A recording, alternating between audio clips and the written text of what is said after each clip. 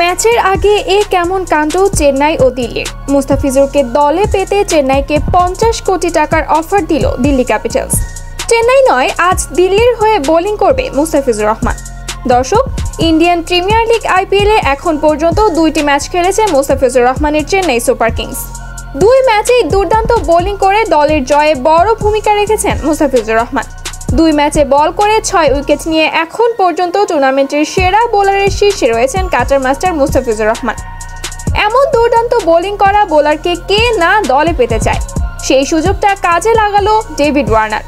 আজ দিনের অনুশীলনের সময় চেন্নাই সুপার কিংসের সাবেক ক্যাপ্টেন মহেন্দ্র সিং ধোনিকে পঞ্চাশ কোটি টাকার অফার দেন ডেভিড ওয়ার্নার। ওয়ার্নার মজা করে বলেন, আমরা তোমাকে পঞ্চাশ কোটি টাকা দিব মুস্তাফিজুর রহমানকে দিল্লির হয়ে খেলতে। ওয়ার্নারের এমন মজার উত্তরও দিয়েছেন ধোনি।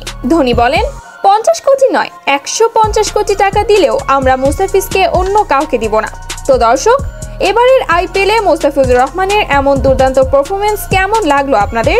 জানিয়ে দিন আপনার মূল্যবান মতামত ভিডিওর কমেন্ট বক্সে ধন্যবাদ।